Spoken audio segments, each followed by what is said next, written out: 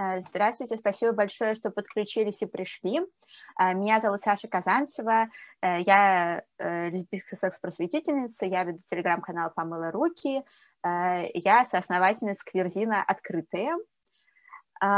И я ужасно благодарна вообще, что меня позвали на Киев Прайд. Я просто очень давно мечтала, и как-то мы долго что-то собирались, потом не собирались, потом снова собирались. И я так рада, что я здесь, наконец-то, хотя бы в онлайн-формате. Спасибо вам огромное, что у меня есть возможность здесь быть и рассказывать. А, лекция, как я уже сказала, называется «Говори про секс, как рефлексия сексуальность меняет общество». Будем говорить о сексе и об общественных изменениях. В общем, штучка такая. Формально я занимаюсь секс-просветом.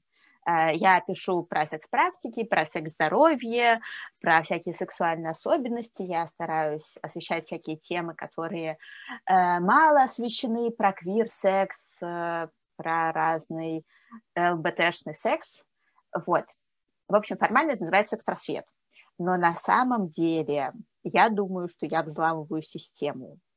И вот сегодня я буду про это говорить, про взлом системы. И вообще, как мы можем все взламывать систему, или уже это делаем, возможно, когда мы о сексе говорим. Итак, первый слайд.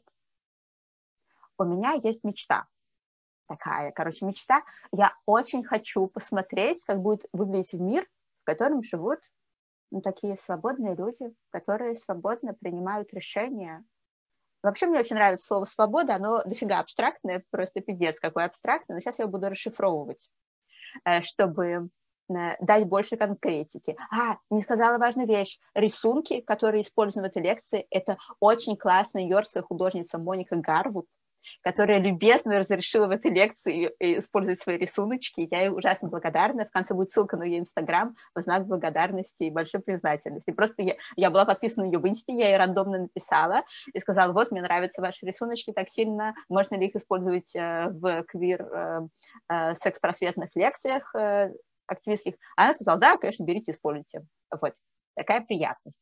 Итак, про то, что такое свободное общество – и свободные люди в нем. Расшифровываем очень абстрактную, очень непонятную штуку. Когда я говорю про свободу и про свободное общество, для меня это просто э, возможность делать свободный выбор.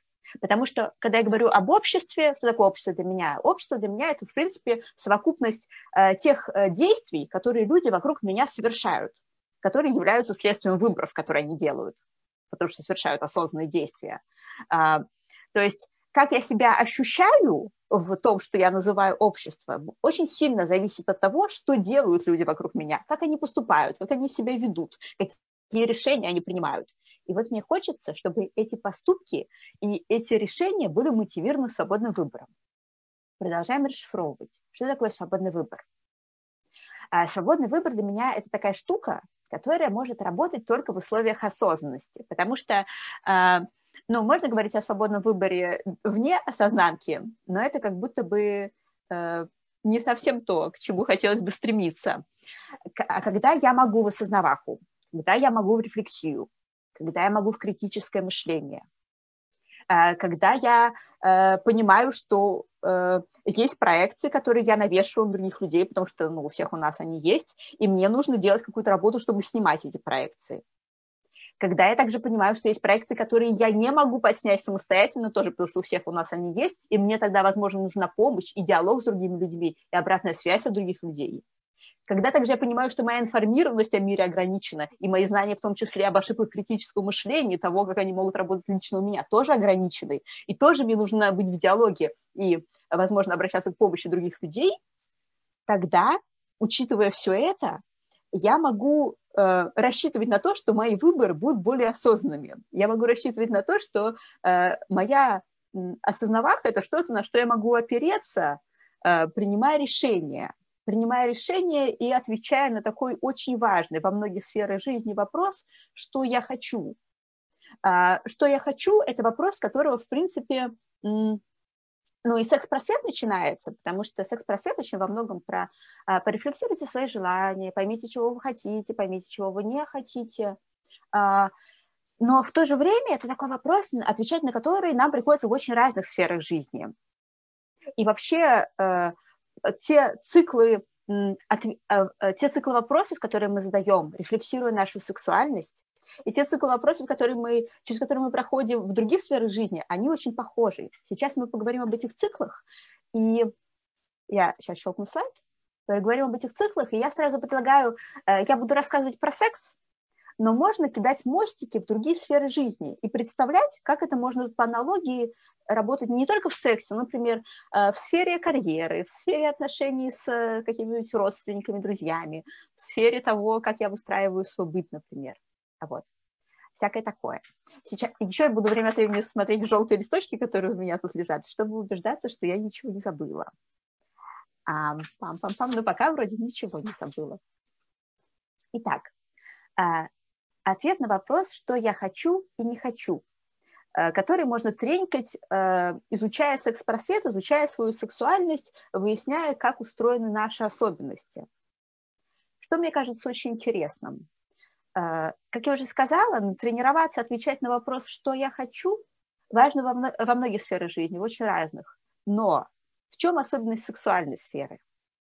В том, что если, например, э, в сфере деятельности я задумываюсь, я выбираю, что я хочу, куда я хочу двигаться в жизни, чем я хочу в жизни заниматься, устраивает ли меня то, чем я занимаюсь сейчас, а, или в сфере отношений с э, другими людьми, не сексуальных, а просто отношений там с коллегами, друзьями, родственниками. Я тоже думаю, ну, устраивают ли меня эти отношения, окей ли мне с ними, возможно, что-то нужно поменять. В общем, всеми эти вопросы я тоже задаюсь, но в большинстве сфер жизни мне приходится так или иначе идти на компромиссы э, и делать иногда то, что я, возможно, не совсем хочу. Например, э, в сфере работы, я думаю, что все мы так или иначе оказывались в ситуации, когда мы делаем что-то, что мы не очень хотим, потому что, потому что это денежка, или потому что сейчас вот я это сделаю, это мне даст какой-то, в общем, задел на будущее, я смогу заняться чем-то более приятным. А, или в отношении с какими-то людьми мне нужно пойти на компромисс, потому что, ну, потому что вот надо, потому что вот потерпеть надо иногда. А, то секс – это такая сфера, где которая вообще не про то, чтобы потерпеть. То есть э, в сексе это, в принципе, не имеет смысла. Секс – это про то, чтобы найти, что приятно мне, э, найти то, что приятно человеку или людям, с которыми я вот в сексуальной ситуации оказываюсь, и делать ну, то, что находится в зоне пересечения наших желаний. Э, то есть не имеет смысла в сексе терпеть, делать то, что я не хочу, а имеет смысл напрямую разбираться, вот что я хочу и, от, и двигаться только за своим желанием э, в той э, мере, в которой оно совпадает с желанием другого человека. Вот, и постоянно вот это искать. Поэтому сфера сексуальности – это, мне кажется, офигенный совершенно полигон, чтобы тренировать, э, тренировать вот это отвечание на вопрос, что я хочу, потому что не нужно отвлекаться на дополнительные вопросы «хочу, но надо», «хочу, но, как бы, к сожалению, не сейчас», ну, Э, в смысле придется поделать что-то менее приятное, потому что э, если мы не нашли ну, того, что мы можем сделать вместе, что нам приятно, мы просто ну, не взаимодействуем сексуально в или расходимся. Вот такая история. И еще, что интересно, при отвечании на вопрос, э, что я хочу в сексуальной сфере, то, что это очень творческий процесс. Потому что вообще, когда мы делаем какой-то выбор, очень сложно выйти из парадигмы «я делаю выбор между тем, что стоит на полке супермаркета, я делаю выбор между пепси-колой и кока-колой, вот он свободный выбор, ура!» Но на самом деле э, вкусов напитков, условно говоря, э, и э, сочетание ингредиентов, сочетание вкусов, их бесконечное количество. И сексуальных практик э, их бесконечное количество, гораздо больше, чем то, что нам часто подают как сексуальные практики. Вот есть там секс вагинальный, анальный, оральный, ну, пожалуй, все, ребята, выбирайте. А, на самом деле способов реализовывать свою сексуальность, испытывать то, что мы э, переживаем и обозначаем для себя как собственное сексуальное удовольствие, их очень много. Здорово, когда есть представление, например, там, о пяти-шести сексуальных практиках, но на самом деле их бесконечное количество. И Э, подбирать и находить свое, это как смешивать цвета, такой бесконечный процесс, поиск своего оттеночка, поиск э, какого-то цвета, который приятен именно сейчас, который сейчас нравится. А, и э, ища и тренируя это в сексуальной сфере, э, находя подходящую сексуальную практику, подходящую э, позу, подходящую, не знаю, обстановку, э, подходящее э, сочетание еще каких-то вводных, э, например, там, включить музыку, или чтобы со мной при этом разговаривали, и чтобы, не знаю, ром палочками пахло. Вот это так... И при этом все наши потребности и желания, и ограничения, они еще все время могут меняться изо дня в день, иногда от периода к периоду, а иногда прям вообще очень часто, за всем этим следить и улавливать, научиться этому, это круто, потому что тем же самым потом можно заниматься ну, в своей повседневной жизни. Э, поскольку наш мозг – это целостная структура, если мы осваиваем какой-то навык, навык прислушиваться к нашим желаниям или, наоборот, к нашим ограничениям, прислушиваться к своим «хочу» или к своим «не хочу», сначала это может пытаться сложновато, типа, блин, это же миллион вообще возможностей, как выбирать. Но по мере того, как мы практикуемся, нарабатываем, набиваем руку, это становится все проще, проще и проще. Да, и поскольку мозг целостная штука, как я уже сказала, если мы это натренькали в сексуальной сфере, мы можем носить это потом в любые другие сферы, сферы отношений с людьми, отношений с нашими какими-то деятельностными штуками, э, в, сфере, в сферу отношений с реальностью и прочее, и прочее. Вот. А, и после того, как мы разобрались, что же мы такое хотим, удивительное, ни на что не похожее, только наше, а, возможно, совпадающее, совпадающее с каким-то мейнстримным представлением о том, что такое секс, или, ну, иногда хочется просто тупо Кока-Колы, окей. А, нам нужно это внутри себя принять. И, конечно, э, чем, э, чем больше наши особенности отличаются от того, как в нашей культуре принято считать как надо, тем, возможно, нам сложнее будет это принимать. Ну, это, это факт, это правда.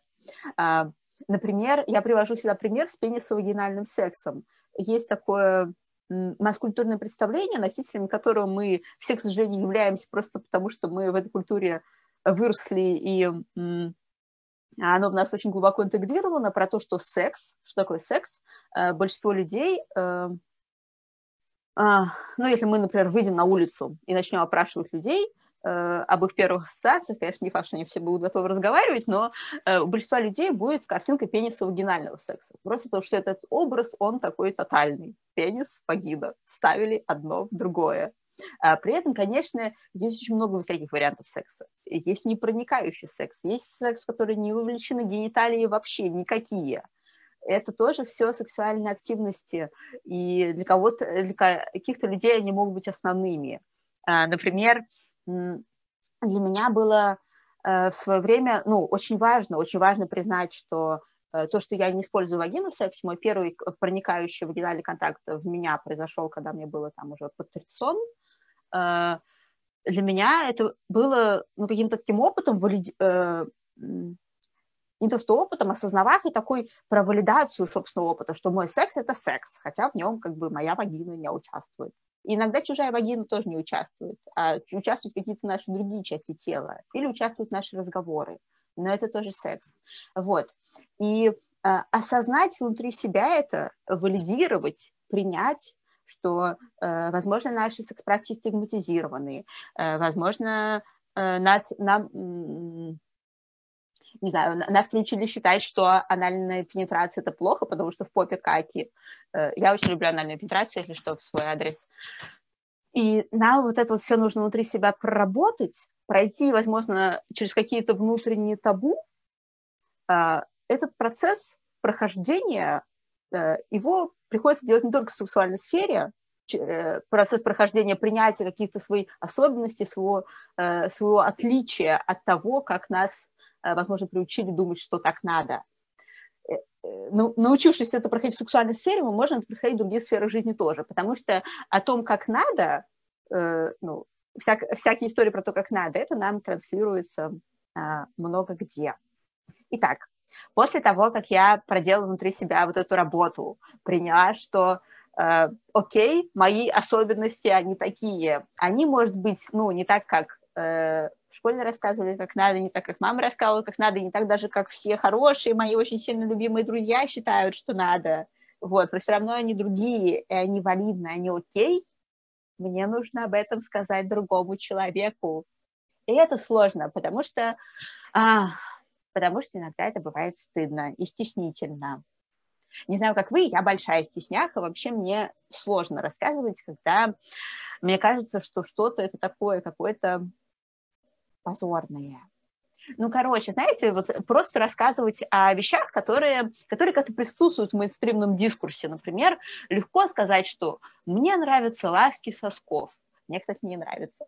Э, но если бы нравились, я думаю, что мне было бы легко об этом говорить, потому что есть такое представление, что если а, твое тело маркировано мейнстримным дискурсом как женское, и у тебя там есть что-то типа груди, и у них у груди есть что-то типа сосков, то ласки сосков могут нравиться, это можно. И говорить об этом несложно. А говорить о том, что, э, не знаю, э, ну, например, не говорить про то, что у тебя есть вагина, но ты не практикуешь вагинальный секс, об, это, об этом говорить сложнее, потому что это вне мейнстримного дискурса.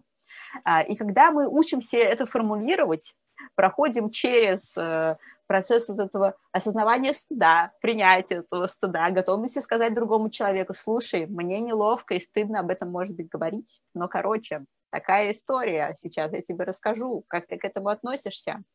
А, научившись это говорить в сфере секса, также мы можем носить это в другие сферы нашей жизни. А, кстати, еще вещи, которые мешают нам говорить. В языках в разных. Я не про все языки мира, правда, знаю. Я знаю в основном про русский и английский, но я думаю, что очень во многих языках западной культуры это так. А, очень мало слов для описания сексуальных процессов. Этот язык, он развивается э, все время. И, например, я до того, как стала э, работать со всякими англоязычными сексообразовательными проектами, я думала, в английском попроще но оказалось, что они тоже там все жалуются на то, что нифига нету слов, чтобы что-то нормально объяснить. Немножко попроще с терминами, описывающими, описывающими телесность, типа название гениталий, потому что это как будто бы сфера медицины, сфера анатомии, а медицина, анатомия такие как будто легальные зоны э, жизни человеческой, поэтому там какое-то развитие терминологии идет. Но описание секс-практика, описание секс-действия, описание чего-то, какое мы испытываем удовольствие во время секса. Такое, секое, в цветочек, в крапинку. Вот очень сильно не хватает слов, и об, это, об эту нехватку терминологическую мы бьемся. Э, и даже если мы находим какие-то слова, Сложность еще в том, что у нас нет практики и нет наслышанности в использовании этих слов. А, потому что, например, очень просто разговаривать нам всем про походы в магазин, потому что это какой-то такой дискурс, который мы слышим вокруг себя с детства. Люди обсуждают, как они сходили в магазин, э, что они там купили, э, купила, сходила в магаз, купила йогурт, там клубничный прошлый раз брала банановый, не понравился, а клубничный еще по акции был ну, короче, нормальный, абсолютно такой треп, бытовой.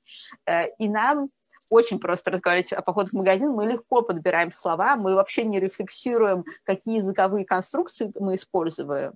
Потому что, когда мы говорим про секс, э, я думаю, что многие с этим сталкивались, я с этим сталкиваюсь в своей жизни, когда я думаю, блин, вот я сейчас это скажу, это будет вообще нормально звучать? А непонятно, что такое нормально, потому что нет наслышанности, нет представления о том, что, типа, об этом чаще говорят в такой фразе, но реже говорят в такой фразе, потому что это не разговор о походах в магазин. Их люди очень редко вокруг нас ведут, и у нас нет с детства привычки, что это что-то такое, ну, очень легкое. Поговорили и разошлись.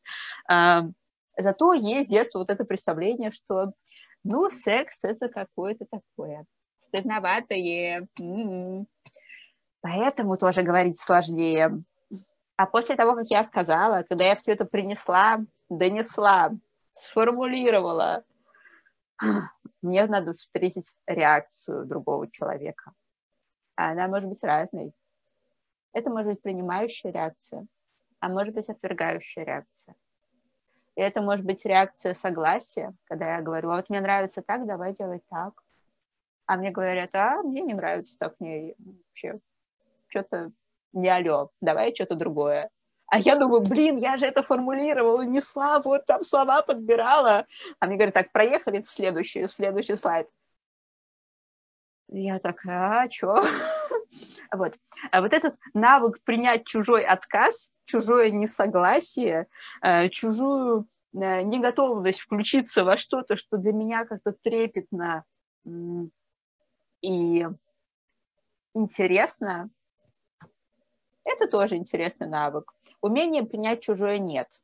Э, и спокойно, не пораниться про это, потому что вообще это круто, когда люди могут отказывать, круто, когда люди могут говорить нет, круто, когда люди осознают свои границы, потому что э, осознавать границы сложнее, чем их не осознавать, потому что не очень-то нас приучают с детства э, рефлексировать, тем более в сексуальной сфере, которая очень замолчена, вообще не очень приучают про секс думать.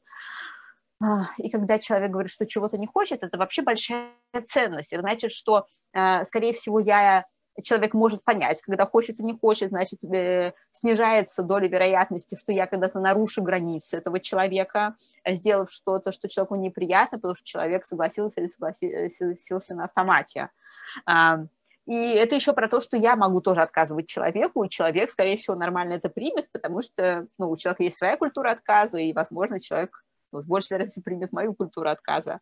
Это классно, но это бывает больно, когда человек говорит «нет». Вот. И научиться внутри себя это «нет» тоже принимать, это здорово. Про разные сферы жизни.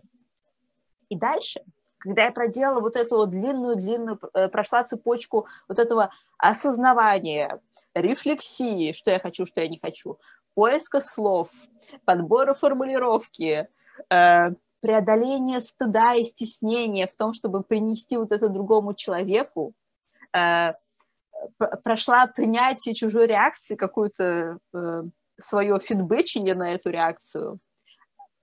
Дальше человек говорит что-то про себя, то есть это старт диалога, это только самый старт диалога, и дальше идет этот диалог длинный-длинный-длинный. И я понимаю, что человек внутри себя тоже вот это все проходит и это удивительно. Удивительно, удивительный вообще феномен, когда э, мы учимся вместе говорить о том, о чем говорить. Э, мы не привыкли, стыдно, слов нет, э, все сопротивляется этому, но мы говорим, мы движемся к самим себе и друг другу. Вот это, мне кажется, просто охуенно. И еще в принципе, когда два разных человека а, с разными телами, с разными, наверное, желаниями, с разными ограничениями, с разными, возможно, в чем-то культурными кодами, ищут способ найти, найти, как сделать так, чтобы а, всем им, вот участвующим в этом диалоге или полилоге, было хорошо, мне кажется, в этом вообще гигантский революционный потенциал когда разные люди ищут, как сделать так, чтобы им, разным людям, друг с другом было хорошо. Вот это, мне кажется, очень сильно про социальные изменения, научиться такие диалоги выстраивать. И сфера секса, она очень к этому располагает. Уже сфера секса, она сама по себе про то, чтобы, про то, чтобы сделать хорошо всем, кто вот в одном сексуальном пространстве оказались. Или иногда признать, что вот нет такого способа и э, уважительно друг другу разойтись. Это тоже способ. Знаете, что я сейчас скажу? У меня тут немножко мои челюсти отклеиваются, поэтому я сейчас подклею челюсти. Минутка будет позитива на нашем канале. А, и продолжу. Вот. А, я напомню тем, кто подключились позже, что можно задавать вопросы, но отвечать я буду в конце.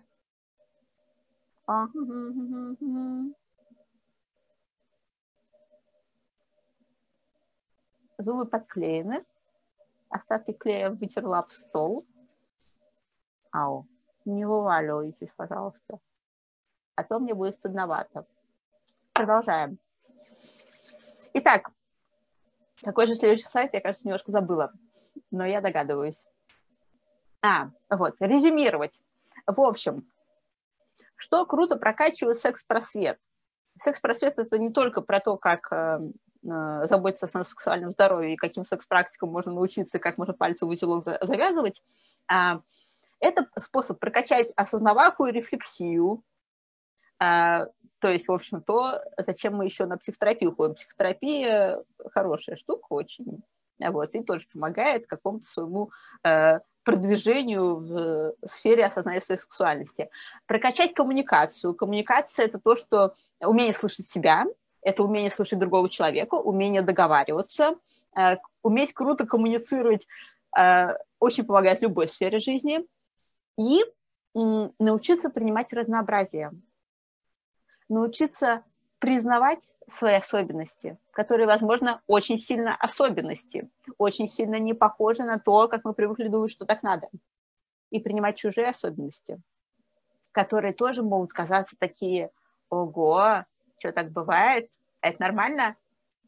А, есть такая тема, что в откровенных сексовых разговорах такого вообще можно наслушаться – на самом деле ничего такого в этом нет. Ничего такого в этом нет. Просто э, люди просто рассказывают о себе. Что есть, есть очень большое отсутствие репрезентации разных сексуальных особенностей, есть очень э, большая нехватка насмотренности на разные сексуальные конституции, потребности, э, желания, триггеры сексуального возбуждения и так далее, и так далее. Просто об этом во всем очень мало говорят. Поэтому, когда мы а, встречаем наших сексуальных партнеров и партнеров, и от них что-то слушаем про то, как им нравится заниматься сексом, допустим, это там сколько десятков людей за жизнь, ну, в среднем по больнице. А, и нам может показаться, что это какие-то такие очень исключительные случаи. На самом деле просто нет какого-то такого глобального представления о том, как велико человеческое разнообразие, с одной стороны, а с другой стороны, как распространены, насколько распространены некоторые особенности, которые могут показаться очень странными. Это, знаете, примерно как на психотерапии тоже можно такого наслушаться, например, на групповой. Такого прямо. На самом деле ничего особенного тоже в этом нет. Люди рассказывают очень похожие вещи про себя. Но при этом э, этих похожих вещей разные люди часто одинаково стыдятся, хотя их особенности могут быть очень распространены как раз из-за этой нехватки репрезентации. Кстати, еще положительный момент, что когда мы разговариваем с другом о сексе, мы повышаем э, репрезентацию каких-то наших сексуальных особенностей. Если мы, например, ну, например, как вариант, как пример, если я у своей девушки э, первая партнерка, которая не использует вагинальную пенетрацию в свою сторону, хотя я знаю, что очень многие люди с вагинами не используют вагинальную пенетрацию в свою сторону, просто ну, у всех бывает, когда, когда люди встречаются с такой особенностью первый раз то в следующий раз человек уже не удивится, когда с таким столкнется, или удивится меньше. И это классно. А, чем еще хороша сфера, да, чем еще хороша сфера сексуальности, потому что, в принципе, учиться коммуникации, рефлексии и даже изучением, наверное, разных любопытных кейсов можно, э, можно, например, на тренинги по коммуникации ходить, если мы говорим о том, что эти все вещи, их можно переносить в другие сферы жизни тоже, потому что э, в других, в общественных сферах жизни нам тоже очень важно иметь, э, рефлексировать, э, вести этичные коммуникационные какие-то процессы, принимать чужое разнообразие, принимать разнообразие чужих запросов. Почему прикольно, может быть прикольно, не то чтобы прям тотально всем надо, но может быть прикольно учиться на этому, этому на в сфере секса, потому что секс привлекает внимание. Это очень интересная штука, когда что-то является триггером нашего внимания, мы это лучше запоминаем. И наш мозг реагирует на это более активно. А, если в статье написано слово «секс», все на него будут кликать. Ну, это такое, как бы, многие редакторы это знают. А, и вообще, да, если где-то написать «секс», э, для людей это является очень часто триггером внимания, триггером привлечения внимания, люди включаются реагируют. И поэтому есть шанс, что э, способы ведения коммуникации, способы рефлексии, способы э, понимания вообще, как работает человеческое разнообразие, которые э, освоены в сфере секса, они лучше запомнятся. Просто потому что секс такая триггерная для внимания штука, и он может помочь это запомнить. Можно учиться всему этому в других сферах, и всем подходит разное Э, но вот такой вот бонус у сферы сексуального, который есть. Итак, а, помимо того, что секс привлекает внимание, еще такой парадоксальный момент. Он привлекает внимание, и он очень табуирован.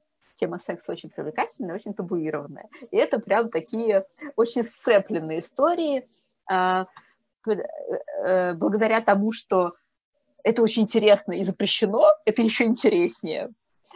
И а, табуированность – это очень грустная история, с одной стороны.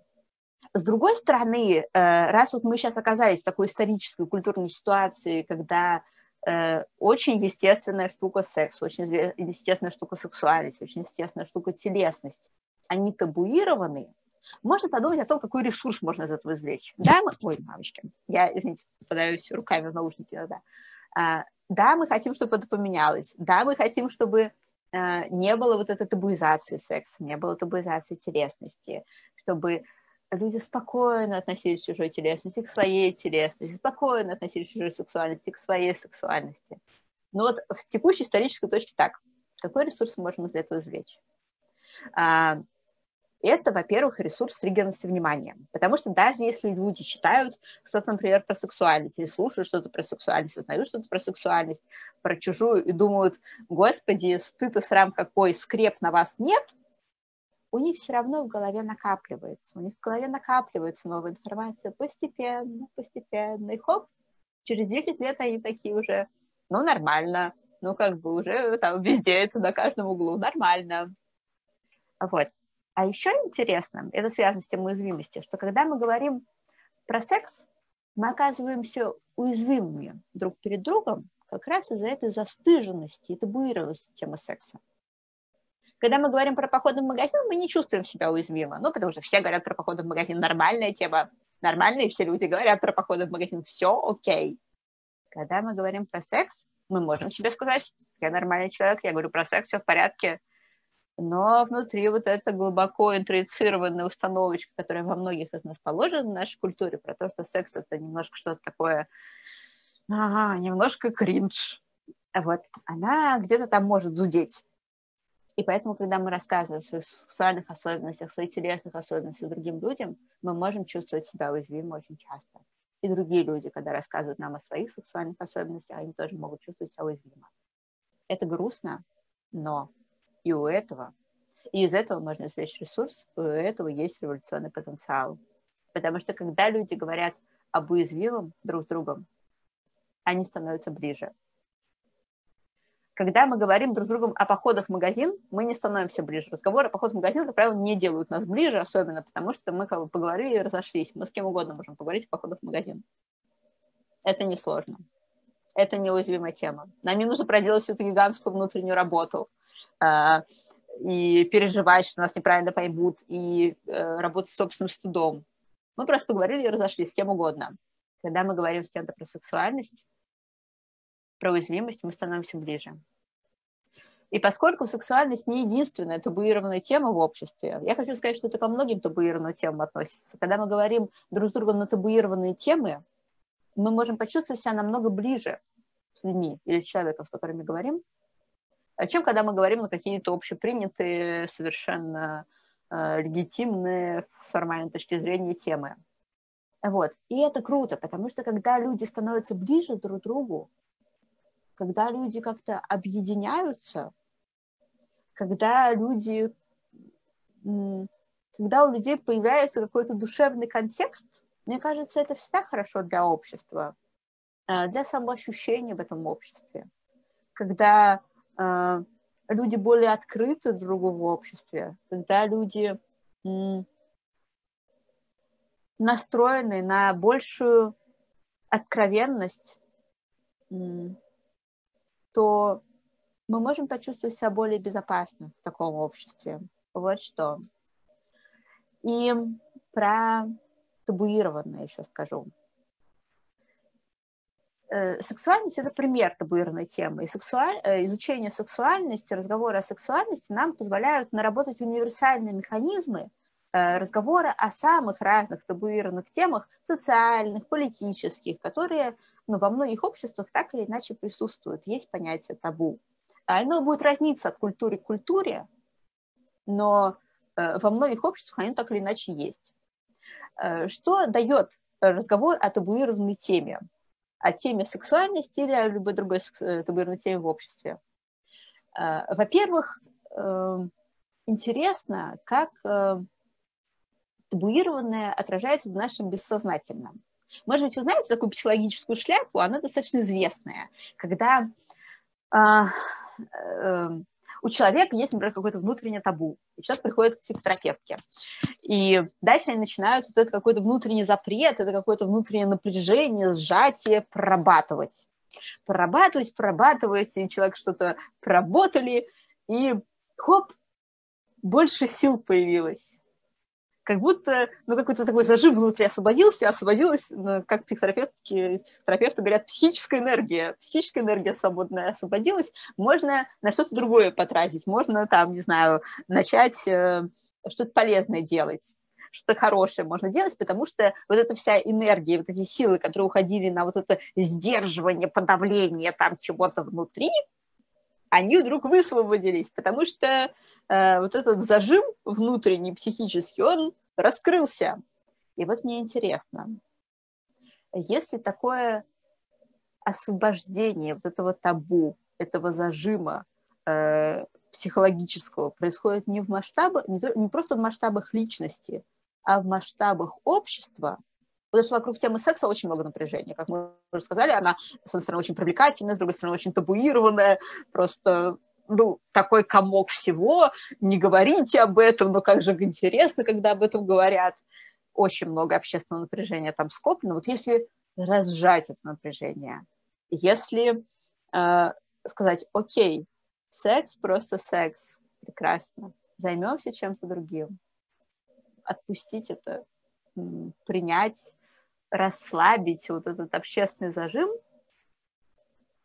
э, сколько психической энергии освободится в общественном смысле.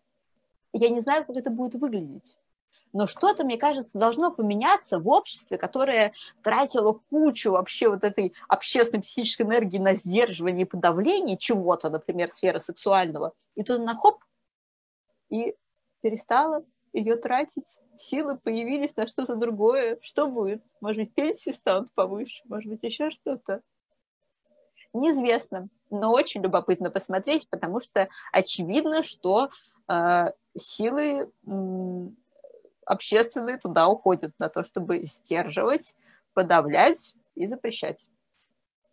А, так, что еще про табуированные темы? Как я уже сказала, что это что работа с разными табуированными темами, опыт взаимодействия с разными табуированными темами, он похож.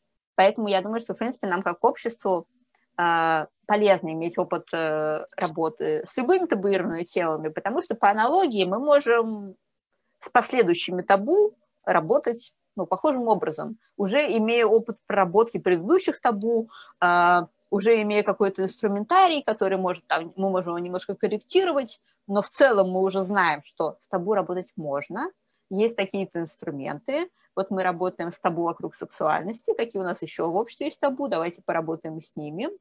А, в общем, навык работы с табуированными темами, он полезен и личности, и обществу. А, и про социальное и личное напряжение я, собственно, сказала. Вот. Неужели можно щелкнуть слайд? Давайте быстро посмотрю свои слайды. Так. Магазин. Революционный потенциал. Так. Ну, вроде все. Хорошее сказала, ничего не забыла. След... Следующий слайд. Знаете что? Это вы не поверите. Это последний слайд. Последний слайд. Э, как-то в онлайне эта лекция быстрее идет, чем в офлайне, потому что в офлайне, не знаю почему, но там час. Сейчас а у нас 45 минут. В общем, рефлексию, осознанность и навык хождения в собственной уязвимости люди смогут использовать в других сферах жизни. И вот это, мне кажется, очень круто. Э, мне хочется, мне очень интересно наблюдать, как люди разные, ну, внутри себя прорабатывают эти штуки, как, э, штуки, я имею в виду рефлексия, осознанность, работа с табуированным, и мне кажется, это то, что видно в микросообществах.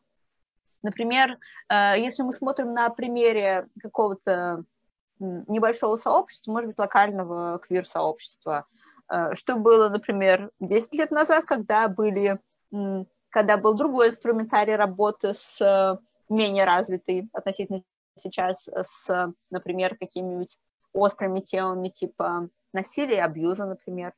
Э, как этот инструментарий развился за последние 10 лет? Э, какое стало другое отношение и сколько появилось новых способов взаимодействовать со сложными ситуациями? На примере микросообществ это немножко легче наблюдать, потому что это можно увидеть своими глазами но и на примере общества изменения происходят. И это, мне кажется, вообще чудеса. И сколько мы еще всего удивительного увидим, вот я думаю, в течение даже нашей жизни. Это вообще с ума сойти. Короче, очень любопытно. Очень любопытно. И очень прикольно ходить в уязвимые темы, очень прикольно ходить в табуированные темы, раскрывать и смотреть, что происходит. Происходит разное. Кто-то говорит, о боже, как здорово, что вы об этом говорите, Кто, кого-то очень сильно бомбит, и люди пишут, горите в аду. Э, но это нормально, это всегда так происходит. Людей с книгопечатания бомбило очень сильно тоже. Ну, ничего, нормальные реакции. Вот такой процесс любопытный. Ну что же, самый последний слайд, на который написано спасибо, спасибо большое. Вот, идет персона, написанный if you take big spaces, you leave big spaces.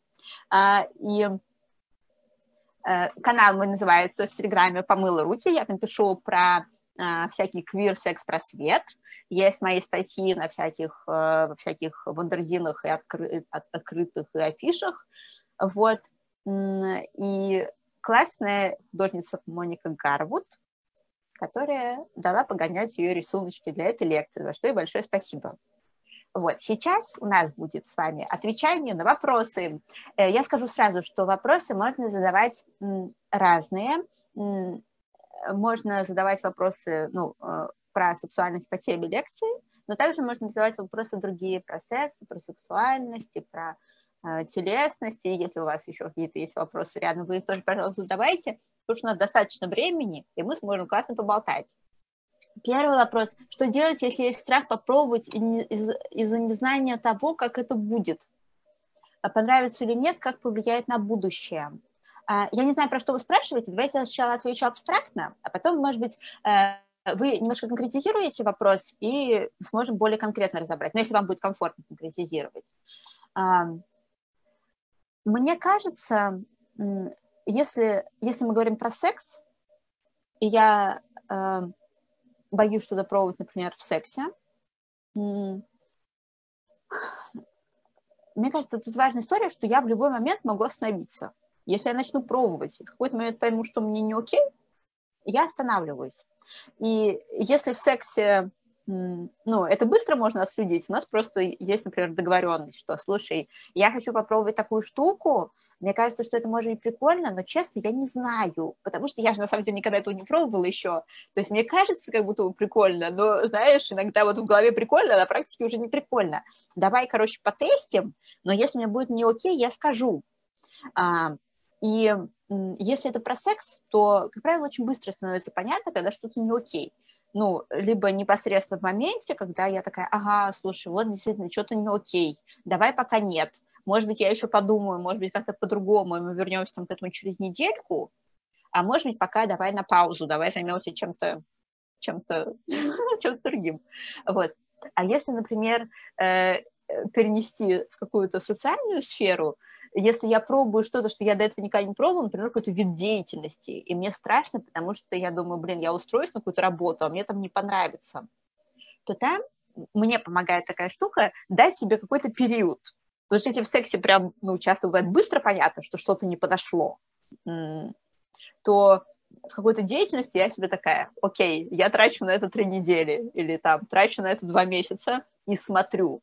Если мне не станет э, ну, и просто смотрю, какое у меня будет отношение к этому через два месяца.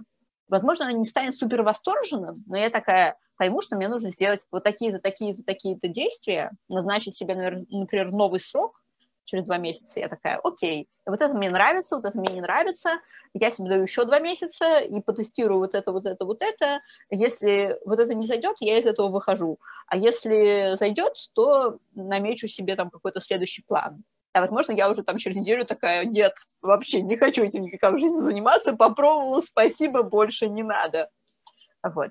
такая история. И про секс, и про социальное. Еще, мне кажется, тут важно сказать, что иногда бывает так, и в сексе, и не в сексе, когда в процессе вроде прикольно, а потом секс закончился, прошло пару дней, и я такая, блядь, вот это вообще был какой-то хреновый опыт, прям не хочу больше такого, во-первых. Во-вторых, мне кажется, я там немножко прям травмировалась.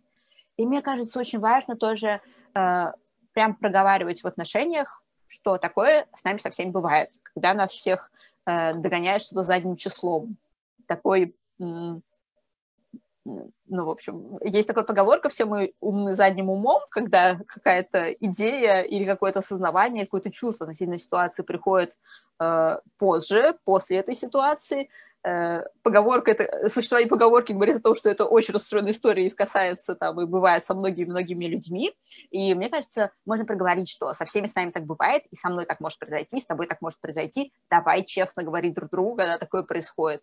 Если что-то произошло в сексе, в процессе было окей, а через неделю ты поняла, что тебе не окей, пожалуйста, говори. И давай я тоже буду честна с тобой и тоже тебе скажу, потому что ну, мы сможем это проговорить, и я не буду ходить травмированный глазом дергаться, а ты не будешь думать, что это у меня глаз дергается, и ты мне, наоборот, э, что-то скажешь, если э, тебе будет как-то некомфортно. Вот, такие у меня есть мысли. А еще, еще последнее добавление к этому следующие вопросы. Если, например, я хочу что-то попробовать, и у меня до поры до времени к этому сопротивления больше, чем готовности пробовать, то, может быть, и не нужно себя пока, ну, как-то заставлять, заставлять, потому что, возможно, от того, что я не пробую, мне сейчас лучше, чем если я попробую. Ну, в общем, как-то себе прислушиваться и мониторить, когда для этого подходящий момент. Возможно, подходящий момент для того, чтобы попробовать через год. Возможно, если положила это в голову, такая, ну, неплохая идея, но, наверное, я пока не готова. Позрею годик, может быть, там потом руки дойдут. Вот, такие мысли. Я буду прям по порядку отвечать, потому что тут э, не все про секс. Э, отвечу на вопрос, как вы работаете с негативом в блоге, какой примерно процент людей пишут негативно-агрессивные вещи. Э, на самом деле не очень большой, и, в общем, когда пишу прям какую-то трешню, ну, пишу прям трешню такую, типа, горите в аду, я просто, ну, как бы, я просто удаляю. Удаляю. Иногда баню, если очень навязчивые люди. А когда пишут, вот я сейчас разместила пост, про телесность в Инстаграме, и мне там уже написали, да, тело есть у всех, но не все показывают пизду. Ай-яй-яй. Я думаю, ну, это же такой правомерный тезис. Не все показывают пизду. Что ты скажешь? Не все. В общем, все, что у меня было сказать это, я сказала в посте. Если человеку ничего это важно написать, я даже тереть не стала, оставила. В общем, пусть там будет. А, короче, по, честно, по-разному. Иногда я, конечно, сильно расстраиваюсь. Иногда я а, когда мне кажется, что может выйти конструктивный диалог, я пишу, ну вот смотрите, мне кажется вот так вот и вот так вот. А вы что думаете? Потому что, мне кажется, на добрый тон люди очень часто, люди включаются на добрый тон, людям еще неловко бывает быть буками, когда с ними по-доброму разговаривают. Вот. Но бывают, конечно, упоротые люди, которые очень хотят недобро разговаривать, и тогда, ну, что, ничего не поделать, можно просто их стирать. Вот. Так я думаю. Но вообще я... Я очень верю в то, что многие люди, не все, бывают прям такие люди, которые просто хотят смерти тебе, и все, ничего тут не поделаешь, и тогда их только банить. Но я верю, что многие люди, они, они хорошие, про хорошие, просто вот э, как-то не очень, может быть, тактично умеют свои мысли выражать. Ну вот можно как-то так аккуратненько с ними. Такие, короче, мысли у меня зависят очень сильно. Так. Если человек не идет на контакт, говорит, нет опыта и страшно, значит, что она не доверяет. Что делать в таких ситуациях? А, говорит, что нет опыта и страшно в, плане вообще вступать в сексуальное взаимодействие? А, или какие-то конкретные практики? Вообще, в принципе, есть такая штука, что а, ну, принцип согласия на чем строится? Что все, что не да, это не да человек не всегда может понять, почему именно чего-то не хочет. А, и мы, в общем, не должны заставлять, потому что для того, чтобы иногда понять, почему именно я чего-то не хочу, нужно иметь там достаточную э, рефлексивную культуру, которую, в общем, редко где мы можем так вот запросто и задешево получить. Э, иногда нужно, иногда просто нас парализует какой-то такой страх, и тогда тоже точно очень сложно объяснить и аргументированно разложить, почему вот я не хочу эту секс-практику. И мне кажется, тут сложно сказать, что такое доверяет или не доверяет, потому что критерии доверия у всех свои. Э, доверие такое достаточно абстрактное понятие. Как правило, люди сами определяют, что для них доверие, что для них недоверие, и определяют это иногда очень по разным критериям. Э, то есть, возможно, э, само понимание того, определяет этот человек свое отношение как доверие или как недоверие, ничего не даст. Но что-то дать может ответ на вопрос, чего вообще человек хочет в контакте. Потому что если человек, например, вообще не хочет сексуального контакта никакого, это одна история. А если человек хочет какого-то сексуального контакта, но не сейчас, это другая история. А если хочет, и может быть даже сейчас, но боится и, возможно, в связи с этим нуждается в поддержке, но дать эту поддержку можно только, когда человек ее запросит, это другая история. Вот. Что можно делать? Я бы спросила, я бы начинала вообще все с вопроса, а, ну, чего ты хочешь. Если мы говорим о сексуальном взаимодействии, а, что вот ты говоришь, что нет опыта и страшно вступать в сексуальное взаимодействие, хочешь, пока просто не будем вступать. Ну, или, знаешь, может быть, никогда не будем вступать, так тоже возможно, может быть. А, и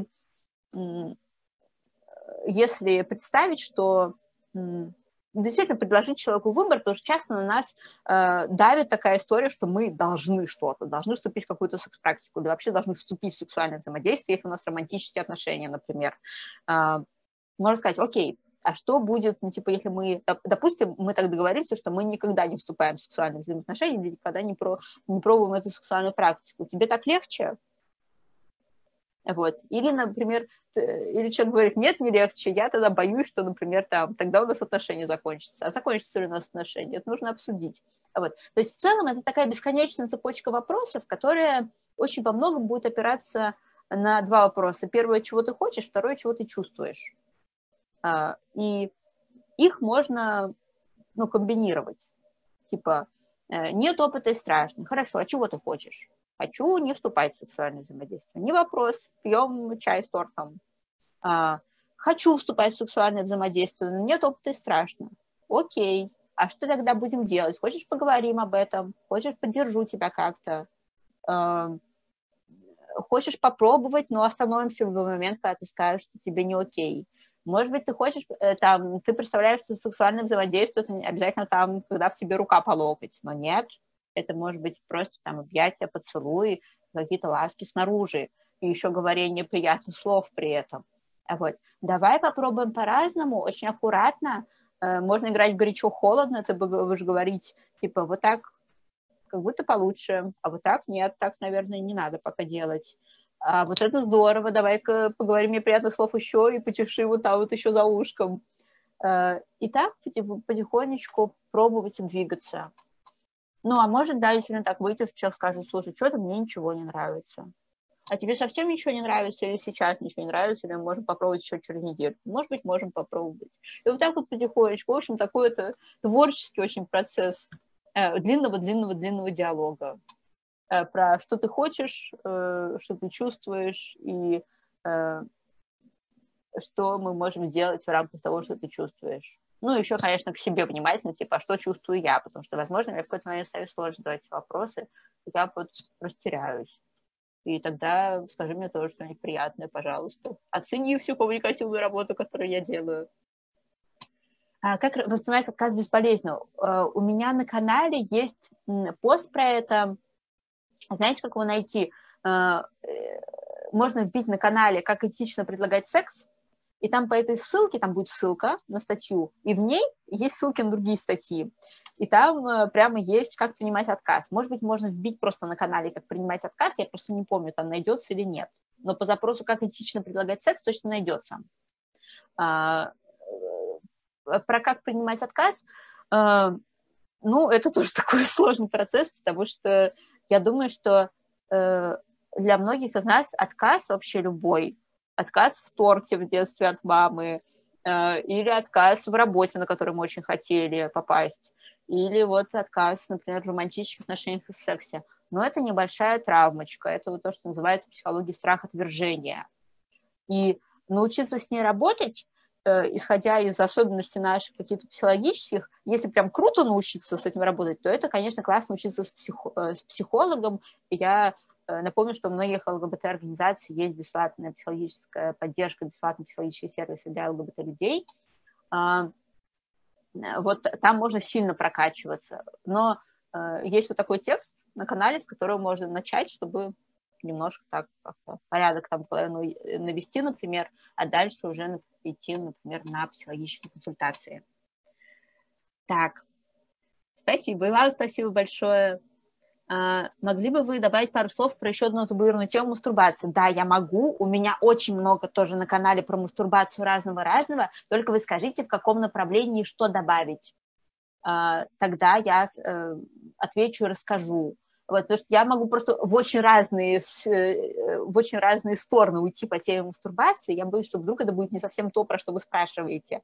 Поэтому чуть-чуть сусти вопрос про э, что именно в плане мастурбации рассказать. Скажу штуку, вот, которая мне сейчас приходит на ум и которая мне кажется тоже важной.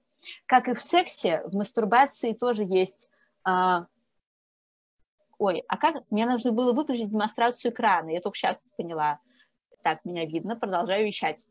Про мастурбацию, мне кажется, что важно, что как и в любой э, сфере сексуальной, в мастурбации тоже есть э, из-за узости, э, узости освещения темы, есть представление о том, как надо.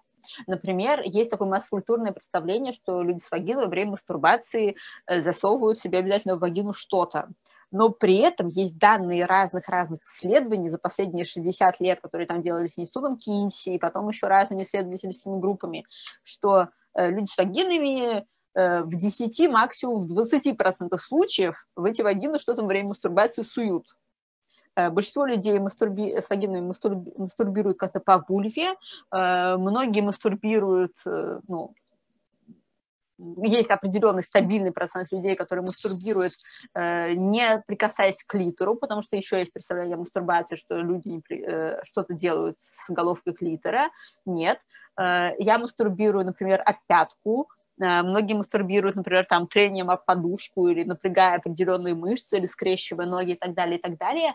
Про всякие малоосвещенные способы мастурбации я собирала достаточно много информации разного-разного опыта, и тоже есть э, на Wonderzine статья, и на канале есть, по-моему, четыре части подборки с разными-разными историями про мастурбацию э, людей с вагинами, с вульвами, про то, кто как что мастур... Э, как мастурбирует, Э, вне каких-то этих масс-культурных представлений о том, как якобы положено мастурбировать.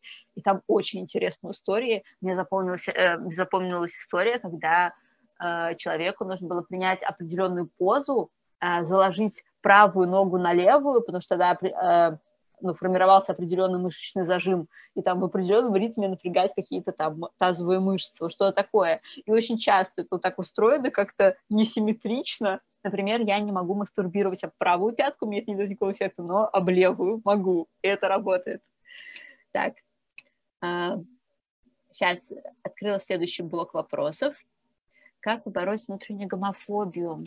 Слушайте, вы знаете, это такой большой, очень сложный вопрос, поскольку внутренняя гомофобия у нас может быть мотивирована а, с одной стороны, чем-то похожими историями, а с другой стороны, со своими какими-то особенностями, возможно, отсылающими к нашему детскому опыту, который э, тоже в чем-то похож, а в чем-то уникален. Поэтому вот про вопросы про внутреннюю гомофобию, мне кажется, это как раз тот случай, когда очень классно ходить к психологам из ЛГБТ-организаций, во-первых, потому что они э, действительно очень часто работают с этим вопросом, и у них прям набита рука в том, чтобы с ними разбираться, именно с вашим случаем, э, помочь разобраться именно с вашим случаем.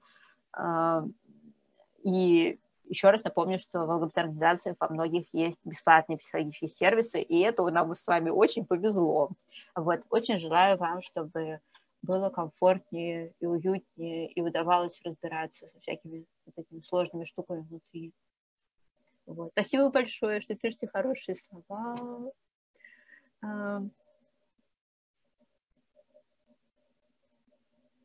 Я заметила, что... Э, читаю вопрос, или не вопрос.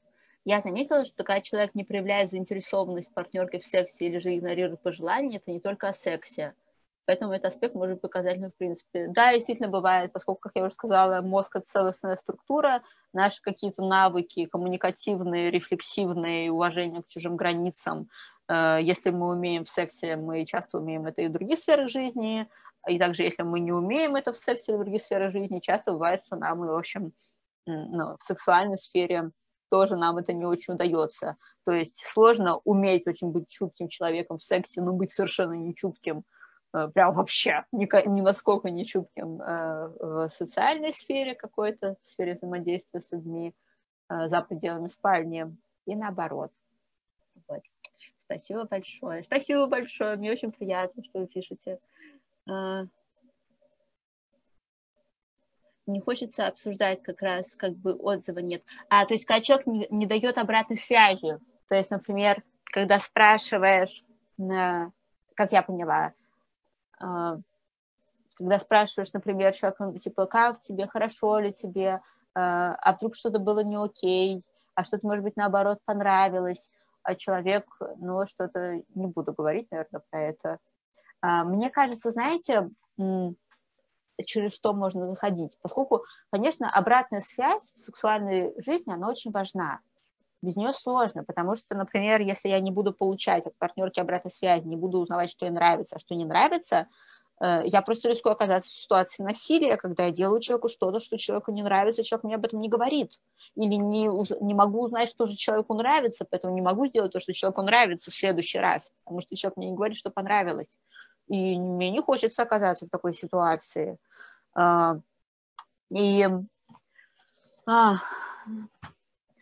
есть такая штука, такой лайфхак, который... Э, в общем, мы меньше чувствуем стеснение, когда мы заботимся о других. Например, э, многие люди стесняются звонить, или звонить по телефону, или стесняются о чем-то спрашивать незнакомых людей. Но если их об этом попросит кто-то, кто-то, например, ребенок, кто-то более слабый, кто-то, кому это сделать сложнее, то часто мы чувствуем себя такими более более героическими и говорим, сейчас, для тебя я это сделаю, для себя не могу, для себя очень стесняюсь позвонить по телефону, но ты не справляешься позвонить по телефону, сейчас я для тебя сделаю все. Вот. И когда мы помогаем кому-то, люди очень любят вообще кому-то помогать, я думаю, что большинство людей у нас устроены так, какие-то наши механизмы психологические, социальные. А, когда человеку предлагается кому-то помочь, человеку иногда легче что-то сделать, чем просто, когда это никак не мотивировано, просто вот сделай.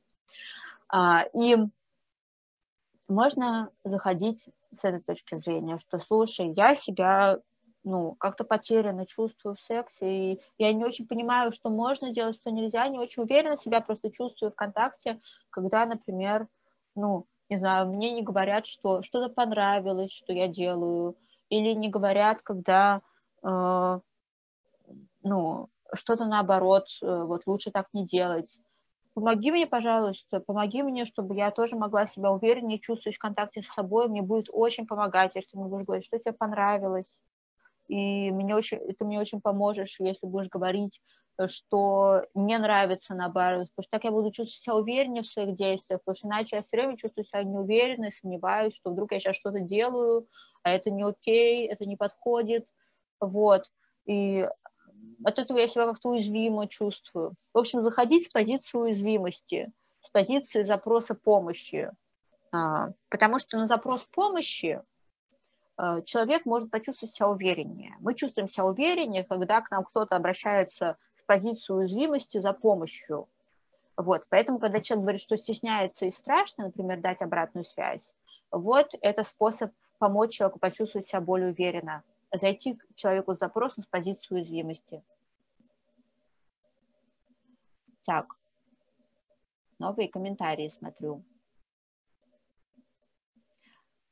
А, если девушке больно при проникновении, но при этом все же бы хотелось пенетрации. Это может быть связано, слушайте, с разными штуками, потому что иногда это бывает даже связано с болячками какими-то.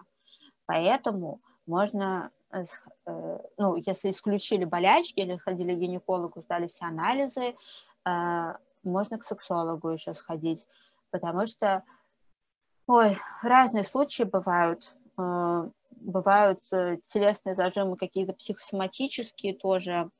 И вот можно с, с этим так поработать. Если уже был опыт пенетрации, если был позитивный опыт пенетрации, а если пока не было позитивного, ну, если вообще никакого опыта пенетрации не было, я скажу про себя. То есть я всегда вот в индивидуальных случаях э, с, с каким-то конкретным телом лучше, конечно, идти специалисту, потому что специалист сможет лично глазами увидеть вот это конкретное тело и разобраться. Э, но просто скажу для примера, что э, мой первый вагинальный опыт э, в мою сторону, когда я была принимающей стороной, он был такой, он был очень длинный. Во-первых, мы, мы делали это э, три месяца. Три месяца мы шли вот к какой-то полной пенетрации. То есть сначала это было так где-то очень снаружи, э, очень сбоку, осторожно, там, краешком пальца. Я такая, нет, нет, все, мне не нравится, не надо, останавливаемся. Вот. А, и так потихонечку, потихонечку, потом в какой-то момент э, там оказался полный палец внутри, и еще мы искали отверстие в гимене долго. В общем, по-разному бывает. Э, поэтому если опыт, я действительно самый первый опыт, то можно просто двигаться по чуть-чуть, по мере комфорта, чтобы у человека было время расслабиться, была возможность сказать нет, останавливаемся на сегодня, продолжим через неделю. Вот такая история. Но очень важно, опять же, исключить, э, исключить какие-то болячки, потому что иногда бывает, что какие-то там э, например, какой-то воспалительный процесс, небольшой, может быть, даже незаметный, но небольшой какой-то воспалительный процесс внутри есть, не подлеченный, из-за этого неприятное ощущение. Вот. Такая история. Скажите, пожалуйста, э, есть ли еще э, вопросы? Потому что в списке пока вопросы закончились. Как правильно взаимодействовать с партнеркой, которая не хочет близости, ввиду ментальных проблем. Это длится уже три месяца. О, это сложно. Слушайте, ну знаете что? Это не идти к психологу. Ой, пропала картинка, появилась картинка. Не идти к психологу это сложно, потому что, знаете, это примерно как человек бы, например, не хотел близости из-за э, физических проблем со здоровьем, но не собирался бы их лечить. Это право человека действительно распоряжаться собственным телом, в том числе какими-то ментальными и психическими аспектами своего тела, э, но также ваше право с этим, на это как-то реагировать и с этим как-то обходиться, говорить, например, что слушай, ну вот мне сложно быть в взаимодействии сейчас, э, я очень хочу помочь, хочу тебя поддержать, но как будто бы не очень понятно, как это можно сделать Э, если вот ты не хочешь сейчас как-то там сходить к психологу, к врачу сходить, что мы будем делать?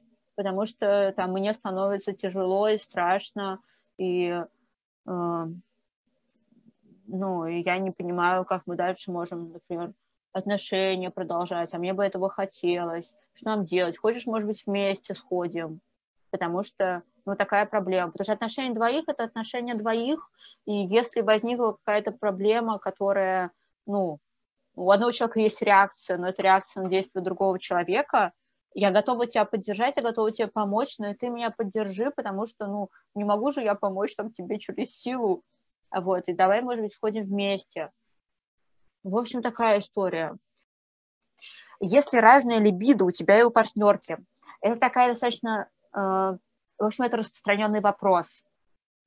Э, решается он разговором, и решается он э, иногда походом к психологу тоже совместным, потому что э, для кого-то, ну, зависит, зависит от запроса. Кому-то в каких-то парах помогает, например, если человек там, с более низким либидо делает массаж, например, человеку с более высоким либидо, и для человека с более высоким либидо это иногда оказывается такой ну, хорошей какой-то поддержкой между сексуальным взаимодействием, тактильным взаимодействием классным. Вот. А, а кто-то упирается в то, что, ну, например, я знаю пары, которые очень классно живут вместе, но у них открытые отношения, потому что а, потому что очень большая разница в либидо, и кому-то, например, секс там практически не нужен, а кому-то нужен очень часто, и они договариваются, что им важно быть вместе, что для них важны их классные, крутые отношения, но э, сексуальную сферу кто-то из них выстраивает отдельно. Я почему-то все время чешется нос, извините, пожалуйста, вы что так по-дурацки выглядит на видео, что я все время чешу нос. Вот, в общем, такая история про разные либидо. Если вы читаете на английском, ну или просто Google переводчиком, на Autostraddle, uh, autostraddle.com, uh, это такой лесбийский портал англоязычный, у них есть очень крутая статья про то, что делать их либидо разные, где они разобрали, по-моему, все возможные способы работы с этим. Она достаточно старая, она какого-то 2013 года, но более полного я на, э, ну, материал я насчет до сих пор не видела, то есть э, все вот эти способы разговора, э, пробования разных способов телесного взаимодействия, которые могут замещать секс-практики, какие-то актуальные для вас в тот момент, когда вы занимаетесь сексом вместо секса. Э, потом возможное открывание отношений, то есть когда отношения становятся открытыми, и вы уход... кто-то из вас уходит в ну, там, свободные сексуальные контакты за пределами отношений. Это тоже способ, и вот это все можно обсуждать. Как ты узнала о том, что ты полиаморна? Я, кстати, вот с этими терминами, я выстраиваю отношения с этими терминами, потому что а, а, я использую термин полиамория, потому что мне кажется, что другого такого подходящего нет, как будто бы. Э, но и мне хочется поддержать видимость этого термина, потому что, ну, мне кажется, важно, чтобы люди о нем узнавали. Но в то же время, например, моя текущая э, ситуация, что у меня последний секс был там типа 9 месяцев назад, и тоже романтических отношений с тех пор не было. И честно, я не очень представляю, в какой ситуации они могут сейчас возникнуть. То есть, э, ну, просто у меня такой образ жизни, что мне сложно это представить и, возможно, я там еще год без секса проживу, и как будто бы я очень соло, и сложно в такой ситуации говорить о какой-то полиаморности, но мне, например, сложно идентифицировать себя как э, абсолютно моногамного человека, который вот приклеивается там к одной партнерке и все, и не смотрит по сторонам. Это, кажется, не мой случай. То есть я знаю из опыта своих каких-то отношений, что мне сложно не смотреть по сторонам, мне сложно не реагировать на знаки внимания, которые ко мне поступают параллельно с э, основными отношениями. И поэтому, поскольку э, терминология предлагает два дихотомических таких варианта, типа либо моно, мономорные отношения, либо полиаморные отношения, я такая, ну, кажется, мономорные отношения – это не мой вариант. Возможно, это должно называться полиаморное, возможно, это должно называться как-то по-другому. Но я вам говорю, это говорит человек, который сейчас вообще ни в каких отношениях и э, не может представить себе никаких отношений. То есть я не знаю, как я сейчас, как мне себя идентифицировать. Почему у меня так чешется нос? Что происходит? Нос, не чешись. Возможно, это какая-то психосоматика. А, поможет ли, может ли помочь принятие себя и своего тела мастурбация перед зеркалом? А, может помочь. Кому-то может не помочь а кому-то может помочь. А, мне кажется, тут как со многими вещами, если есть готовы что-то пробовать, и есть подозрение, что это может помочь, потому что иногда идеи про то, что что-то может помочь, они к нам приходят в голову не просто так, то, мне кажется, стоит попробовать. Если вы почувствуете, что вам от этого как-то прикольно, то здорово. А если вы почувствуете, что вам от этого не прикольно, ну, вы что-то про себя узнаете, сможете двигаться дальше. А вот, а возможно, сможете вернуться к этому через какое-то время, когда снова почувствуете, что это, может быть, стоит попробовать. Вот. Такой тоже творческий процесс. Если есть внутреннее желание при половом контакте сделать девушке куни, но опыта нет, страшно сделать что-то не так, как с этим справиться? Мне кажется, крутой опыт работы со страхом и со стыдом в сексе – это открыто говорить про то, что они есть. А, потому что вообще классный способ работать со стыдом, наверное, в любой ситуации – это стыд назвать.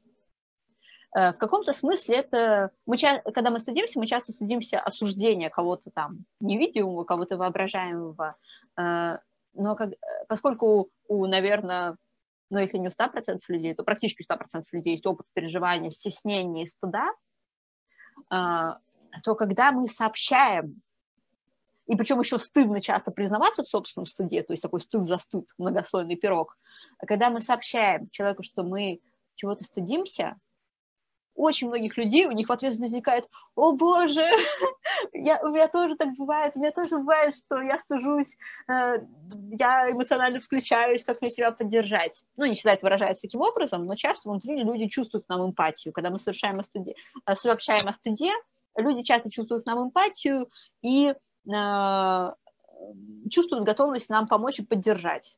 Просто потому что вот так работает человеческая отзывчивость. Поэтому когда мы говорим о своем себе, мы о себе классно заботимся, потому что другой человек, скорее всего, уже включает внутри себя вот эти кнопочки помочь, поддержать, сделать приятно. Можно сказать, как можно вас поддержать. Например, говори мне, что тебе нравится, или направляй меня, или говори левее, правее, быстрее, медленнее, повыше, пониже, сделать паузу, ускориться. Вот это способ. И еще, кстати, когда мы говорим человеку о своем стыде или стеснении, мы таким образом заботимся о другом человеке и вообще занимаемся практически благотворительностью. Знаете почему? Потому что э, стыд и стеснение испытывают практически все, но очень многие, я думаю, что большинство, так или иначе, э, регулярно или очень часто стесняются о своем стыде говорить, стыдятся о своем стеснении говорить. Когда мы показываем людям, что так можно, можно говорить о стеснении, можно говорить о стыде, говорим о том, что, в принципе, в нашем контакте допустимо говорить о стыде. Вот же я тебе говорю о нашем стыде. А, мы заботимся о другом человеке. Человек как будто себе внутри может поставить галочку. Во, о стыде говорить можно, о стыде с этим человеком говорить можно, потому что она не стесняется мне о своем стыде сказать. Значит, я тоже о своем стыде могу сказать, а не прятать его там под семью подушками. Класс. А вот мне очень помогает, когда мне нужно сказать про что-то стыдное, держать в голове, что я э, так не только о себе забочусь, я о другом человеке забочусь, потому что другой человек почувствует себя безопаснее со мной. Потому что когда я проявляю э, уязвимость, предъявляю уязвимость, говорю о своей студии, о своей уязвимости с другим человеком, э, человек будет со мной безопаснее. А мы все очень нуждаемся в безопасности, мы все очень нуждаемся в, безопас... Э, в безопасности друг с другом, и мы тянемся к тем людям, с которыми чувствуем себя безопаснее. И когда человек предъявляет свою уязвимость, э, говорит о своем студе, велика вероятность, что я почувствую себя с человеком безопаснее и потянусь к этому человеку, и захочу проводить больше времени с этим человеком, ну, всякое такое. Э, что делать, если в активной позиции все очень круто, э, но в пассивной вроде бы ок, однако ничего яркого или чувства кру- круто-круто никогда не возникало. Хотя очень хочется научиться быть в пассивной позиции, полностью открыто получать кайф я бы разбиралась, чего именно хочется. Я немножко, единственное, я предложу другую терминологию. Мне очень нравится, когда говорят принимающая ведущая роль, потому что тогда ну, люди, которые в пассивной позиции, они не... Ну, э, потому что ну, вообще любая позиция в сексе, она активная, потому что люди ну, в общем, только если они прям там не в полной отключке, но с ними в полной отключке мы сексом не занимаемся, то они так или иначе, они активные участники сексуального процесса, просто они могут быть в принимающей роли, могут быть в ведущей роли. Мне кажется, что неготовность быть э, в принимающей роли иногда она связана с тем, что нам она просто не подходит, просто по нашей конституции какой-то психологической, потому что бывают люди, которые, например, социально очень активны, им сложно, ну, они такие, например, такие ведущие, прям такие э, бульдозеры, и им сложно, например, ну, просто сидеть там на месте, выполнять монотонную работу, просто потому что психическая конституция другая. И также бывает в сексе, что такая конституция человека, что сложно быть в принимающей роли. Но если чего-то хочется в этой принимающей роли, например, сложно довериться, или сложно расслабиться, или сложно поверить, что э, меня будут хотеть, и я буду желанной, если я буду просто лежать и получать удовольствие, а не работать в шесть рук со всех сторон, а буду просто наслаждаться, то это уже другая история. И тут бы я разобралась, с одной стороны, чего именно хочется от принимающей роли. То есть э, чего, чего я там хочу? Почувствовать себя э, рас, просто расслабиться и поиметь возможность не, не фигачить, а просто лежать и получать удовольствие, например. А, или получить какой-то новый опыт, ну тогда чего я жду от этого опыта, оправдываются ли мои ожидания, потому что да, у меня есть ожидания от этого опыта, но этот опыт, к сожалению, для меня не может оправдать эти ожидания, потому что вот он у меня так он работает. А, или я, то есть разобраться, чего я хочу, какие у меня ожидания от этого принимающего, э, принимающего опыта. Возможно, потому что их можно закрыть другим способом. Возможно, мне действительно не подходит принимающая роль, но я могу эти желания удовлетворить другим каким-то способом, каким-то. А друг, другая история – это про то, э, что мне мешает, э, что мне мешает получать удовольствие. Возможно, я не могу расслабиться. Возможно, я не чувствую доверия достаточного. Возможно, я чувствую себя слишком уязвимо, и мне вообще не прикольно. Нет задачи прокачать свою уязвимость там до самого просто вот до, до сюда, еще вот до сюда. Есть задача получать кайф здесь и сейчас. Вот. Э, и можно все это исследовать, исследовать, потому что свою сексуальность очень интересно. Но в той мере и в том темпе, в котором это комфортно. Потому что иногда вещи какие-то невозможно э, узнать про себя или прокачать в себе быстрее, чем это возможно. А иногда какие-то вещи, они просто не про меня. И я могу это поизучать такая, ну, вот так вот я примерно вот это поняла, вот это поняла. Ну, так вот, наверное, мне не очень прикольно, вот так мне прикольно там, не знаю, раз в месяц, а так мне что-то, ну, понятно, но как будто не мое. А еще это может меняться от, партнер, от партнерки к партнерке и от периода жизни к периоду жизни, и может поменяться через 10 лет. А вот такая история. Короче, задавать себе такие вопросы и исследовать. Как ты поступаешь, если ситуация для тебя была э, просто секс, а у человека появилась романтическая увлеченность? Лучше договариваться сразу, ведь иногда человек настроен на одно, эффект получается другой. Мне кажется, договариваться сразу очень классно, но при этом на практике это не всегда возможно. Я мечтаю, конечно, сейчас будут мои теоретические размышления, я мечтаю, чтобы Э, было так, что если люди о чем-то не договорились, то они о чем-то и не договорились. Если, например, мы не договорились, что наш секс автоматически приведет к отношениям, или за нашим сексом автоматически последуют отношения, мы начнем встречаться, то как бы мы об этом не договорились. Если мы позанимались сексом, то мы можем дальше, ну, например, сесть и оговорить это. Если, например, кто-то знает, что хочет предложить отношения, вот мы обсудим, хотим ли мы эти отношения, какие у нас ожидания от этих отношений, кто как себя чувствует в отношениях, как мы будем это пробовать, э, ну, что это такое. Э, но, к сожалению, часто работает так, что есть такой культурный паттерн, что если люди позанимались сексом, у них должны начаться отношения, как будто бы. Это, конечно, ну, он странный, как и многие какие-то культурные э, социальные установки, но он почему-то есть. И действительно бывает очень неловко из него вылезать потому что человек на утро говорит, ну что, теперь мы встречаемся? А ты такая, но мы же просто позанимались сексом. Вот. И тут, конечно, очень жалко нас всех, потому что все мы являемся жертвами каких-то стереотипов в большей или меньшей степени. А, можно поговорить и все обсудить, что для меня вот то, что мы позанимались сексом, для меня это не ну, значило просто то, что мы позанимались сексом а все остальное уже дальше можно обсуждать. Но не факт, что я на что-то соглашусь, и не факт, что ты на что-то согласишься, потому что, возможно, я соглашусь с тобой в отношения, но для меня отношения это означает одно, и, возможно, ты вообще не будешь на это согласна. А для тебя означает, отношения означают другое, и я тоже не буду на это согласна. Вот так вот. В, другом, в любом случае, когда нам предъявляют какие-то ожидания в отношении нас, на которые мы не подписывались, а, и которые такие не являются прям какими-то этическими столпами, что, ну, например, если мы, ну, например, есть этический столб, что если мы занимаемся сексом, то мы соблюдаем принцип согласия. А, если кто-то, ну, не соблюдает принцип согласия в сексе, то это, ну, прям сильно нехорошо но нет этического столпа, что если мы занимаемся сексом, то мы должны э, обязательно после этого жениться и шесть детей. Нет.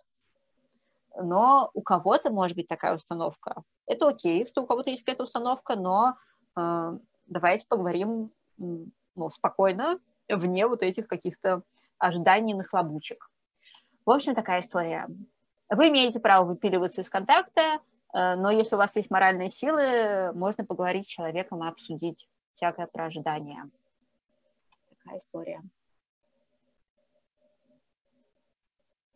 А, вы меня спрашиваете, как я поступаю. Ну, наверное,